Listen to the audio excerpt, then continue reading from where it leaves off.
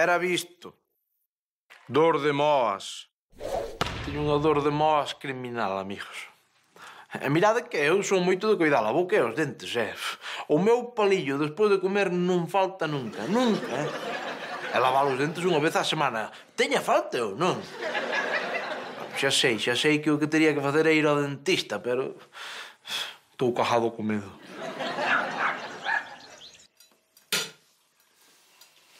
Moncho, pero ti non comes? Non teño gana. Desde que te coñezo, é a primeira vez que che escoito dicir que non tes gana de comer. É verdade. Acordas aquela vez que tivo apendicitis que non poderon operalo ata que acabou o churrasco? O home ten as súas conviccións, Kevin José? Dime a verdade, Moncho. Ti estás morrendo. O que pasa é que teño unha dor de moas que me mata. Pois vai ao dentista. Chegamos como se fose tan fácil. E logo, papá. Non lle terás medo, non? É cada cosa que vou ter medo, eu, home. No, medo non teño, non. Non lles mentín. O que teño é pánico. Pois non se fale máis. Vas ao dentista esta mesma tarde. Oi, hoxe a tarde ben me fatal. Non podo, non teño cosa que facer. Sen excusas, Moncho. Vas hoxe e punto.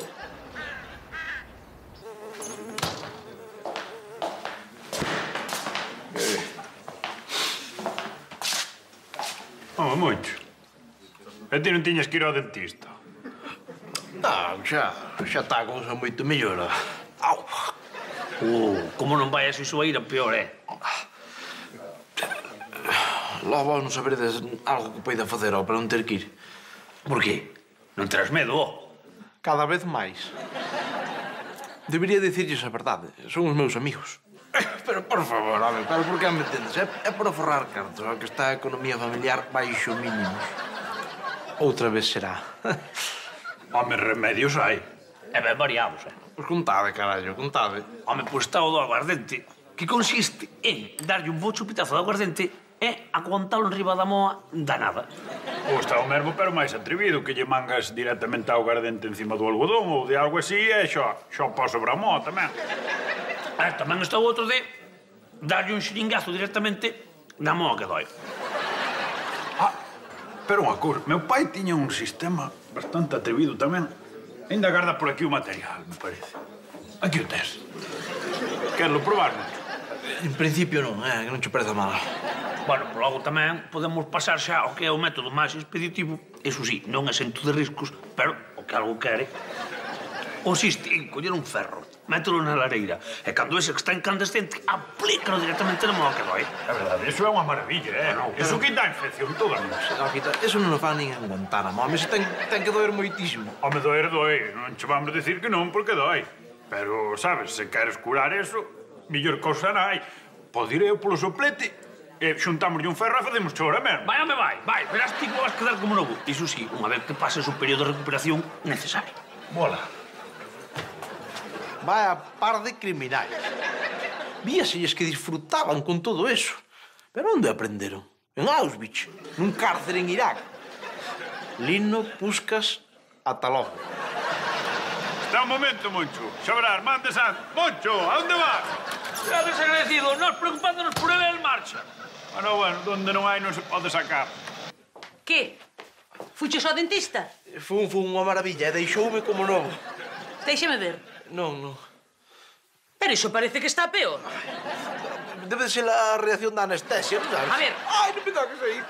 Ti non fuches ao dentista, Moncho. Oh, mira, ia quedar ni perolíeime. Mira, vaiteme xa, eh? Vaiteme xa porque iso non pode estar, sí, Monchiño? Veña, arreando o globo te eu, eh? Veña! Que desastre. Non vou ao dentista nin tolo. Antes que ao dentista vou a, a calquera lado. Que? Moncho, que faz aquí? Ti non librabas hoxe? Eh, tiña ganas de velo. Eh, non sei por que vos dou días libres. Total, por cinco domingos que fixeches douche día completo tres euros e mira como mo pagas. No, pero eu estou agradecido, eh? É que metín os tres euros a prazo fixo, eh? En 200 anos ou así, os meus descendentes están millonarios. Por que falas así? Que tes na boca? Un amor que me dai moitísimo. Brrr. Vai ao dentista. Non quero. Faz ben.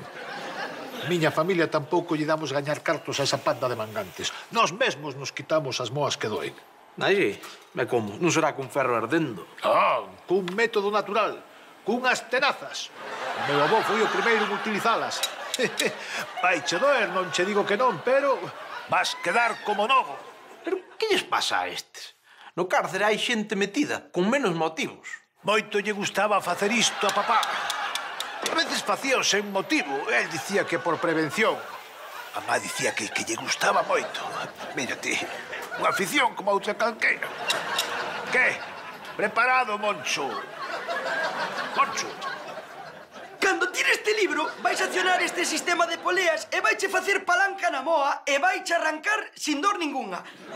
Pero ti crees que isto funcionará, criatura? Home, papá, é un sistema científico, claro que vai funcionar. Estás preparado? En principio non, pero veña, dale. Veña, eh, pois vou non tirar o libro cando conte tres, vale? Ata tres, eh, preparado, aí vai, eh. Un, dous, aí vai.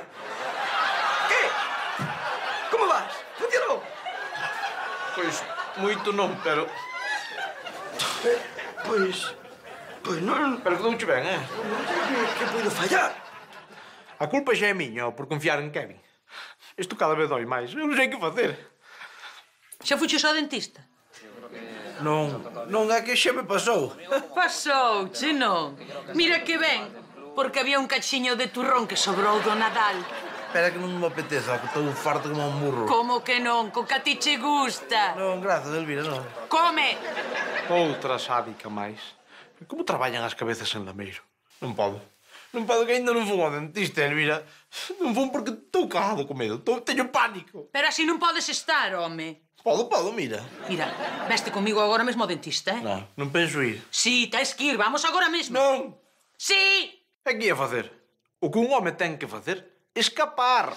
Non me calles nin tolo. Pero que dis? Moncho! Ah! ah. Moncho! Xa sei o que estades pensando. Que coa hostia me caeu a mó que me doía, non? O carallo. Rompín catro dentes. Era cabrona da mó que dou no seu sitio. E ainda me doi, máis que antes. Tiven que pedir vez para a semana que ven. Raza perigosa do dentista. Ola, amigos. Vou vos dar uns conselliños para ligar. O primeiro é ir ben presentable. Eh? Sen ducharse, non fai falta ducharse. Bueno, cada un que se duche según as súas necesidades. E tamén ir barbeado. Eso sí, despois de pasar a máquina, mangarlle ben after safe. Iso é fundamental. É o voto deste. Sí, garrafón. Dá un cheiro e un toquiño a bravío que, que as volve tolas. Xa sabedes, mozas, se queredes coñecerme, son puscas. Podedes vir por aquí, polo bar de Puscas. Lameiros en número, carretera de Santa Comba, kilómetro 18, despois da gasolinera, man esquerda.